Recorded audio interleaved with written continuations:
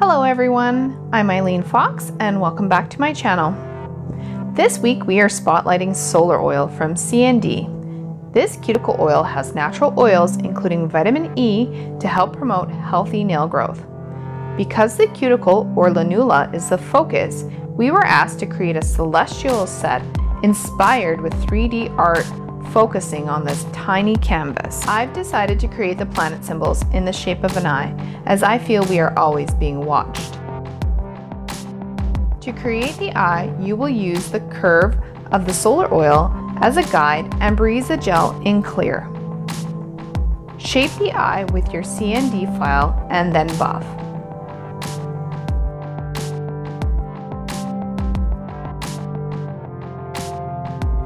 Next, paint your eye using shellac in Cream Puff and Cure.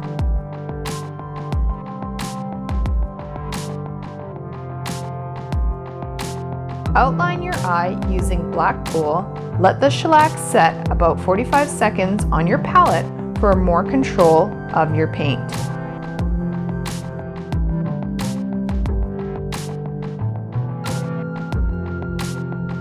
For the planet symbols, I chose to paint in both shellac and Vinylux as I was able to achieve different textures by using both products.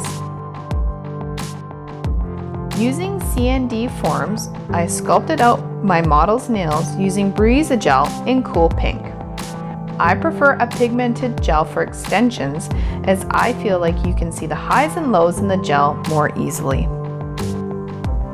I was feeling particularly nostalgic with this set and decided to shape the nails in a square shape, as I practically have zero square nail clients. Also, this gave me a larger canvas for nail art. Now we paint the half moon shape with black pool and a striping brush. Typically, I paint a galaxy set with a black background, sponging on white and a multitude of colors over top. This time I wanted to try something different, so I decided to start with shellac in blue eyeshadow and cleanser to give a more watercolor effect. I also layered on top with black pool. Make sure you cure in between those layers. Now fill in the lunula with the planet colors. Some of the colors I chose were Bordeaux Babe, Brick Knit, Popsicle Picnic, and Aura. Those were just a few. Sharpen your edges using black pool. Once you're happy with your galaxy background, top coat using shellac glitter top coat for a star look. I often use white dots for stars, but because we will be painting constellations in white, I need definition. And let's face it, you can never have too much glitter. The planets do not have a glitter top coat. They are top coated with clear shellac top coat.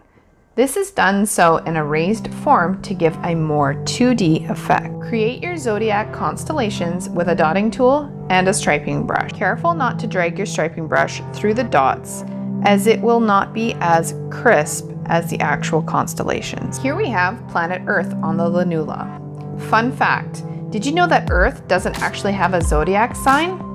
I decided to use Libra's constellation on this nail, as let's face it, the world could use a little rebalancing right now.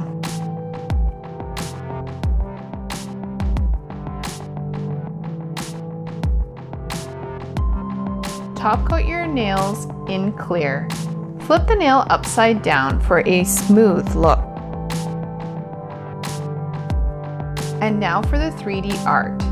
You will need solar oil, a paper clip, and Brisa gel in clear.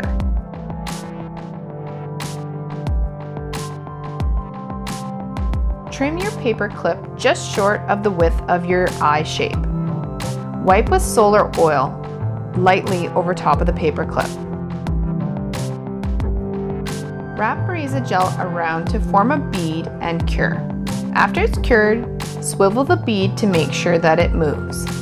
Apply Brisa gel to outer corners of the eye and cure the clip inside. Apply a dot of gel to the etched planet on the nail and press the rotating bead into that dot of gel and cure.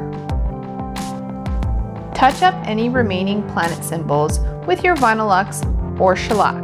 don't forget to cuticle oil at the end. And there you have it. Planets on the bottom, planet symbols on the top, and all eyes on us. And I was pleasantly surprised that the eyes kind of remind me of spaceships. Isn't this look out of this world?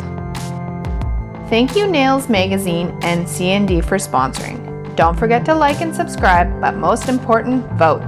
The link will be in the description box on Monday or Tuesday, so stay tuned. Also comment below which is your favorite planet. Thanks so much for watching. Bye!